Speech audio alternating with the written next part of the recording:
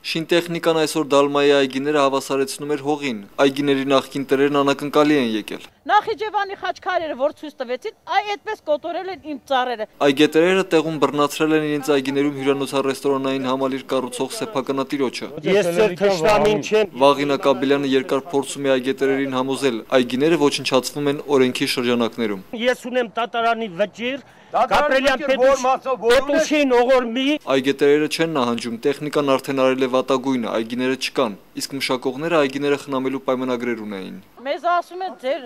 պայմանագրերը լիմոնադի պիտակ են։ Ինչ են պահանջում այգետերերը, թող իրենց հետ հանդիպի մեկը, որը կարող է հատուցել իրենց կորուստները։ Այսօր այս հողի վաճառքի գինը 300 դոլար է։ Քառակուսի մետրը ես ընդամենը 10 դոլար փոխհատուցում եմ ուզում։ Արմեն Գալստյանից նրա բարերով խլել են 2000 մետր հող, մյուսներից մի քիչ ավել կամ պակաս։ Այս ամենը տեղի է ունեցել դեռ 7 տարի առաջ, այդ ընթացքում ոչ մի շինարարություն չի ծավալվել։ Օրենքով 3 տարի, եթե գնորդը հողը վերցրել է,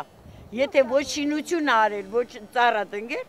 այդ պետք է պարտավորը հետ հանձնի։ Սեփականատերը չի նահանջում, նա դեռ ոստիկանություն էլ պիտի կանչի այգետերերին հնազանդեցնելու համար։ Օրենքի շրջանակներում գնում են ոստիկանություն։ Այգետերերը զգուշացնում են, խանգարելու են ամեն օր, ճիշտը փոխհատուցելն է։